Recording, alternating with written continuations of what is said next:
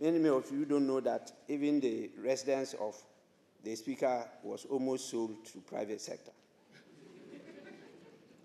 Actually, it was given out. It's when they went to register that Lands Commission identified that that is the residence of the speaker.